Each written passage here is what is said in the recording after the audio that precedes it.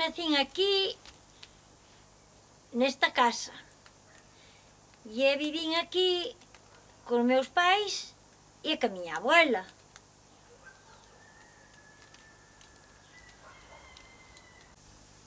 Criei-me soliña, non verte, nunha visitación pequena. E logo a mamá e a miña abuela iban sachar o millo. E chegábanme, limpábanme e dábanme de comer. E ela dicíame, viña, vai outra vez para a camiña. E eu lá iba outra vez, catapum, catapum, catapum, catapum. Puño o vértico de baixo para arriba, eu quedaba de baixo, logo puñame de pie, porque dixo chama corda. Porque chama corda, dixo chama corda. acorda. Xa era máis pequeniña antes, pero logo xa me acorda deso. E puño o berce de pie, lá iba outra vez catapum, catapum, abanando e cantando, abanando e cantando. E era que faía.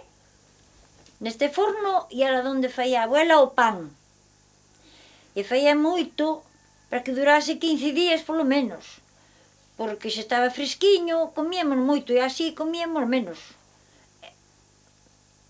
E logo puñémolo aí para que non para que durase máis, que estuvera máis fresco, porque podía valorecer, pero non a valorecía, non, non a valorecía.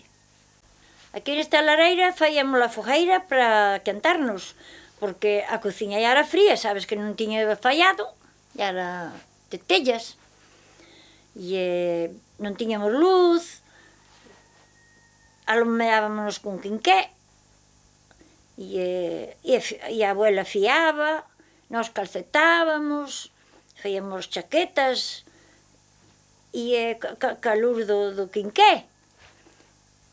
Aquí neste albollo hubo moito contrabando.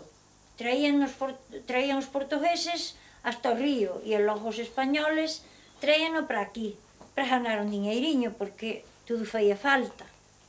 Un, un, nun día dun alivio, estábamos na festa, estaba o Vital comigo, que ainda non, ainda non éramos mozos, pero bueno, xa conocíamonos.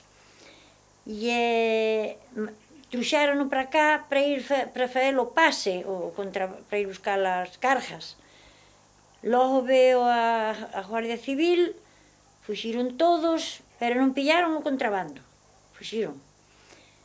E logo para cá trouxeron no, no camión. Ah, pero logo para lá foi a pie para bailar comigo.